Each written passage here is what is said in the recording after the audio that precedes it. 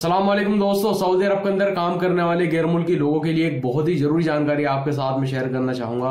बहुत मरतबा क्या होता है कि जिस कफील या कंपनी के पास में आप काम कर रहे हैं, वो बिना किसी वैलिड रीजन के अपने फ़ायदे के लिए या किसी और वजह से आपके साथ में जो उसने कॉन्ट्रैक्ट किया है, उसको टर्मिनेट कर देता है, आपको काम से निकाल देता है, नौकरी से निकाल देता है।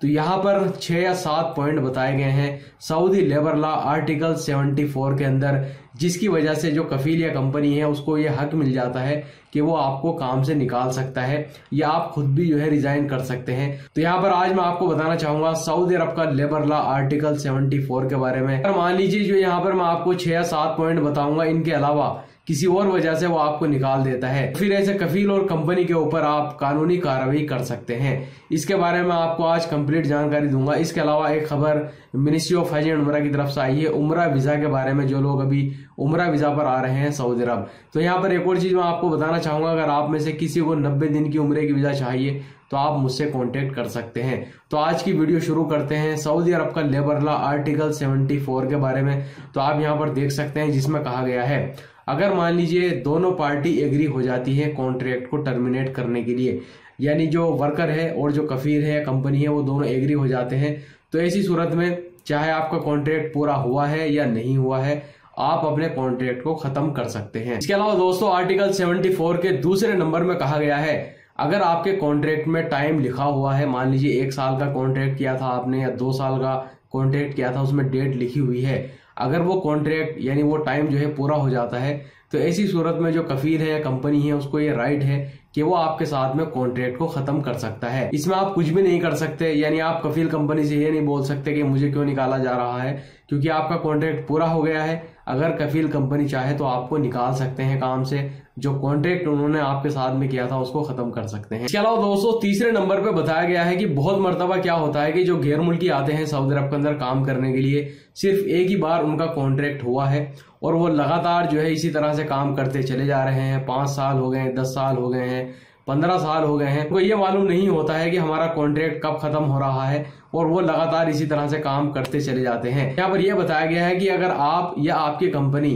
अपने कॉन्ट्रैक्ट को खत्म करना चाहते हैं तो उसके लिए फिर आपको जो पुराना आपका कॉन्ट्रैक्ट हुआ था, यानी पहली मरतबा आपका कॉन्ट्रैक्ट हुआ था, जब आप सऊदी अरब के अंदर आए थे तो उसमें लिखा जाता है कि अगर आप कॉन्ट्रैक्ट को खत्म करेंगे जॉब को छोड़ेंगे तो पहले आपको नोटिस जो है देना होगा। इसमें तीस दिन का टाइम होता है या साठ दिन का टाइम होता है या नब्बे दिन का टाइम होता है, वो आप अपने कॉन्ट्रैक्ट में चेक कर सकते हैं या कीवा प्लेटफॉर्म पर जाकर भी आप चेक कर सकते हैं कि आपका कॉन्ट्रैक्ट कब खत्म हो रहा है।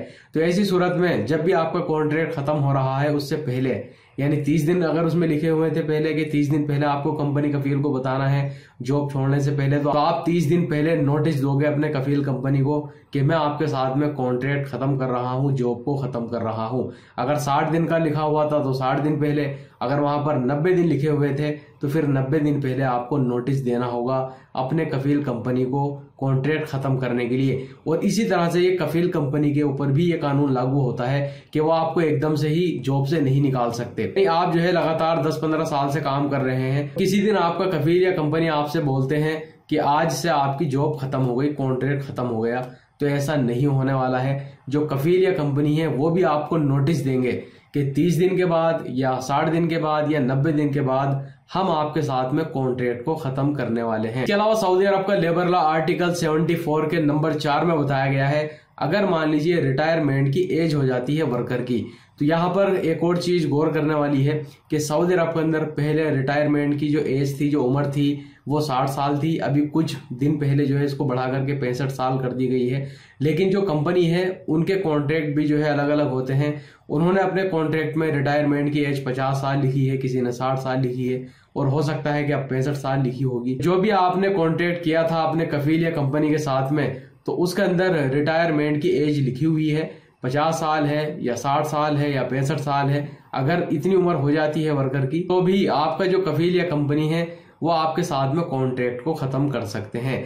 या आप खुद भी रिक्वेस्ट कर सकते हैं कि मेरी रिटायरमेंट की एज हो गई है, तब भी आप अपने कॉन्ट्रैक्ट को खत्म कर सकते हैं। इसके अलावा नंबर पाँच में कहा गया है कि खुदा ना खास्ता अगर मान लीजिए कोई आपदा आ जाती है, कोई डिजास्टर जो है आ जाता है, मान लीजिए कि बाढ़ आ गई है, बहुत ज़्यादा फ्लड आ चुका है, या दंगे भड़क चुके हैं, या कोई हमला हो गया है, या कोई बीमारी फैल गई है तो ऐसी सूरत में भी जो आपका कफील या कंपनी है, वो आपके साथ में कॉन्ट्रैक्ट को खत्म कर सकता है। तो नंबर छह में यह बताया गया है कि जिस कफील या कंपनी के पास में आप काम कर रहे थे, अगर मान लीजिए वो काम परमानेंटली बंद हो जाता है, यानी कोई कंपनी थी वो पूरी तरह से बंद हो जाती है तो ये तो आपको मालूम ही है जो कॉन्ट्रैक्ट आपने किया था, वो खत्म हो जाएगा। तो नंबर सात में बताया गया है, अगर मान लीजिए कंपनी का कोई डिपार्टमेंट है, या मान लीजिए कोई ब्रांच है जहाँ पर ये वर्कर काम कर रहा था, अगर वो डिपार्टमेंट या वो ब्रांच बंद हो जाती है। मान लीजिए बहुत कंपनी क्या होती है कि वो पानी का भी जो है कॉन्ट्रैक्ट लेते हैं, बिजली का भी काम करते हैं, या मैकेनिकल का भी काम करते हैं, या कोई और भी जो है वो काम करते हैं, और आप किसी एक डिपार्टमेंट में काम कर रहे थे, या किसी एक ब्रांच में काम कर रहे थे,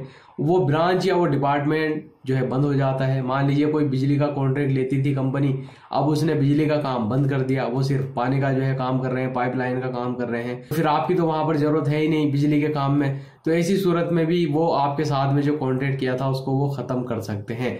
और इस वीडियो को ज़रूर शेयर कीजिएगा अपने दोस्तों के साथ में, ताकि उनको भी सऊदी अरब का लेबर लॉ आर्टिकल 74 के बारे में पता चल सके। क्योंकि बहुत बार जो कफील या कंपनी होते हैं, वो आपको जॉब से निकाल देते हैं। तो यहाँ पर जो ये छह या सात पॉइंट बताए हैं, अगर इसके अंदर अंदर आपको निकालते हैं, फिर तो ये लीगल है, कोई प्रॉब्लम नहीं है।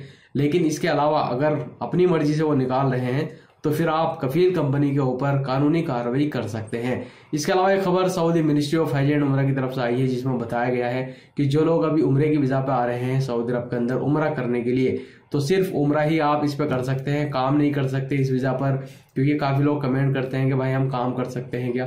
तो आप इस वीज़ा पे काम नहीं कर सकते। इसके अलावा इस वीज़ा पे आप यहाँ पर लगातार रह भी नहीं सकते। यानी नब्बे दिन की ये वीज़ा होती है, एक्सपायर होने से पहले पहले ही आपको सऊदी अरब को छोड़ना होगा। वीडियो देखने के लिए बहुत बहुत शुक्रिया।